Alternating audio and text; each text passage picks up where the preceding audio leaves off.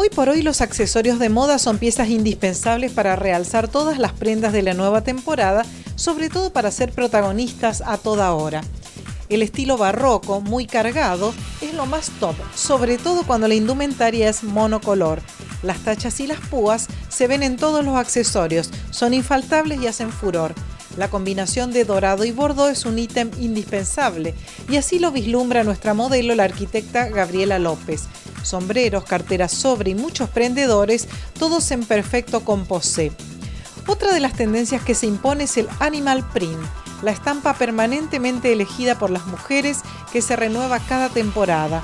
Oros, ocres, dorados y camel en una sintonía de colores y texturas sugerentes que bien valen la pena pulseras, cintos, superposición de gargantillas y carteras combinadas en este anticipo de colección de Adelina Bayer.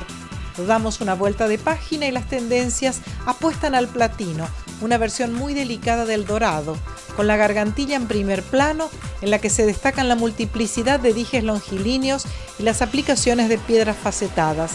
La combinación con distintas tonalidades de verdes ofrecen interesantes opciones tachas, ostras, trenzados y mucho glitter, además de colores cítricos para la pashmina.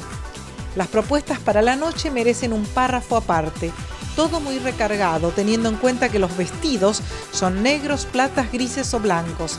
Hay que realzar con lo máximo, con texturas muy ricas de piedras y strass. Todos los estilos son válidos, desde lo más clásico a lo más vanguardista, pasando por variantes étnicas o muy sofisticadas.